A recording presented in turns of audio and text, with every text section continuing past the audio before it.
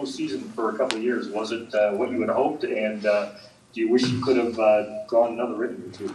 まあえーと長年ポストシーズンで先発をしたかったっていうのが今日叶ったと思うんですけど、投げてみてどうでしたか？もう1イニング行きたかったですか？うんまああの久しぶりにポストシーズンで先発してあの、まあ、緊張とか、えー、プレッシャーとかあったけどまあちょっとね気持ちが入りすぎた部分もあったし、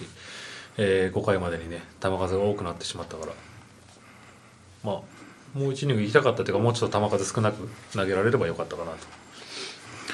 Um, it's been a while since last time I pitched. I started in the uh, postseason, um, and uh, there's a lot of pressure uh, during the postseason, uh, and I did feel myself being under pressure, and uh, I think that was part of the reason I uh, my pitch count went up. Um, if I if that pitch count were, you know, lower, then I think I could have gone another inning. Go. Santa, what was that uh, mound visit like um, in the jam in the fourth inning, and uh, how big was that strikeout of Reddick? You showed a lot of emotion out there that we haven't really seen from you in the past.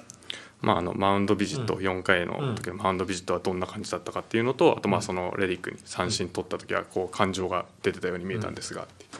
まああのいろいろその投げるボールの確認とか、まあ、サインの確認とか、まあ、あとは、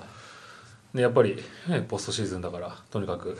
えー、点を与えないようにっていう気持ちも出てたし絶対に、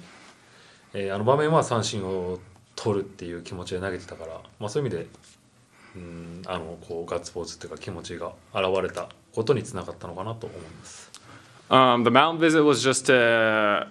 make sure the signs and uh, how to attack the hitter. And the strikeout to Reddick, that moment, I really wanted to get a strikeout, and that was a strikeout must situation.